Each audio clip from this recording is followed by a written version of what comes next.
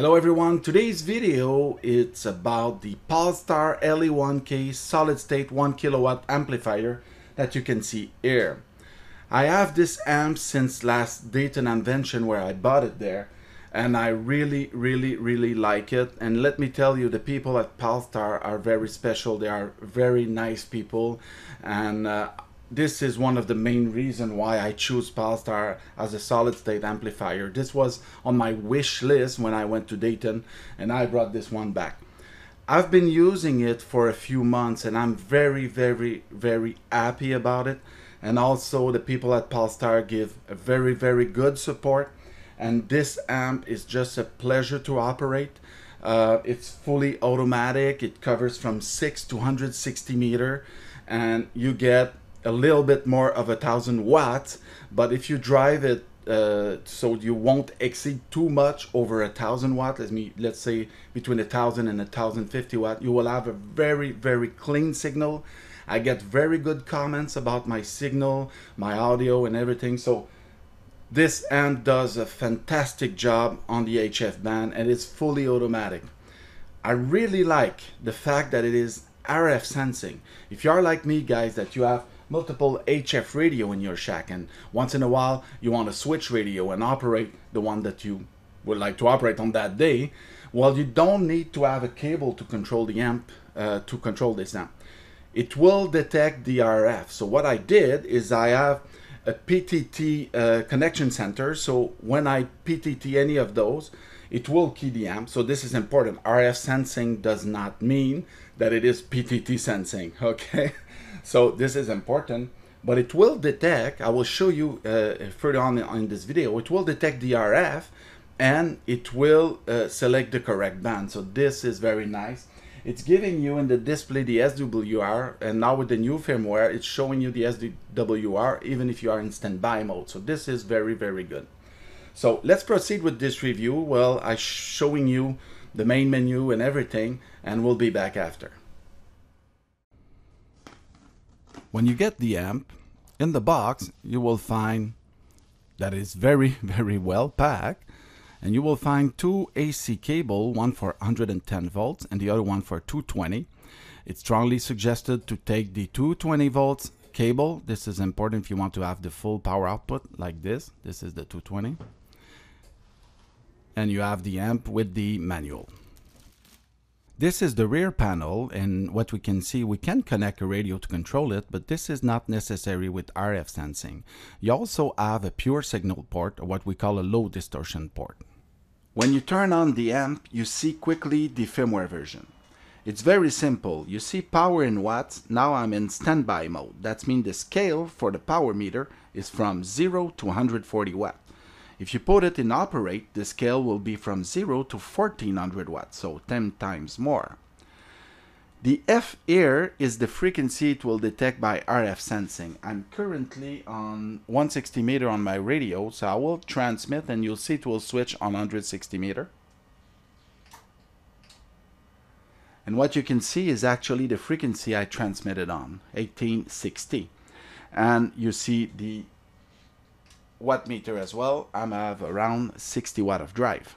If I put it in operate and do a switch, then you can see a thousand watt. That's 160 meter. You get higher performance on the other bands, around 1200.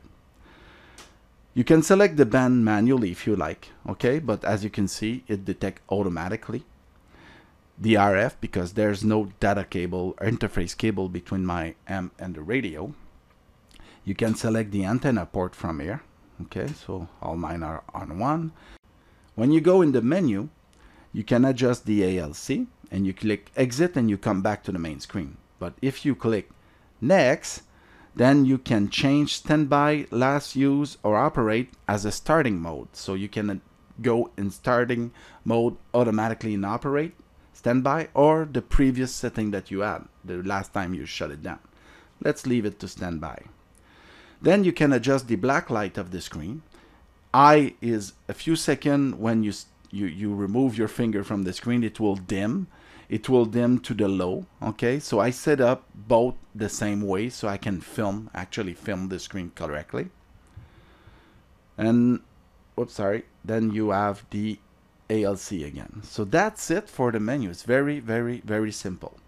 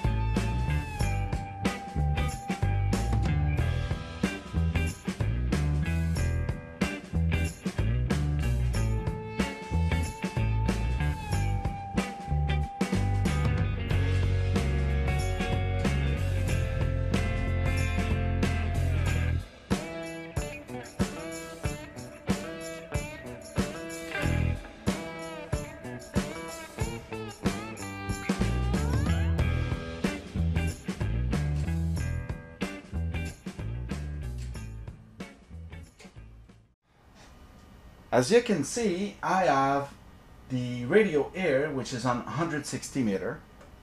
And I have this radio air, which is on 80 meter. And what I'm going to do, I'm going to put the amp in operate. Currently, the radio air is actually on ground, and this one is connected to the dummy load. But you can see also that the amp is on 40 meter. But let's check that out. I will transmit with this radio and remember there is no interface cable between any of my radio and the amp.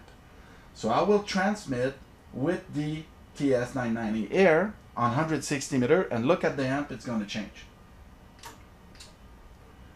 There you go, the amp has changed to 160 meter. Now what I'm going to do, I'm going to switch the dummy load on the other radio that is on 80 meter. And let's check it out, okay? Hold on a second. There you go. I'm to transmit. I will send it to him. You see, it detects automatically 80 meters. So this amp is perfect if you want to use multiple radios in the shack and want to use the same amp without having a lot of cable or interfacing problem. So this is very, very cool. This concludes this video. I hope you did enjoy. If you like, please do a like and please subscribe to be notified for my next video when it's going to be online. This amplifier is awesome. I highly recommend it. The people at Palstar give a great service. Really like it. A very, very nice piece of equipment to have in the shack. And for now, I'll say 73. Catch you some other time.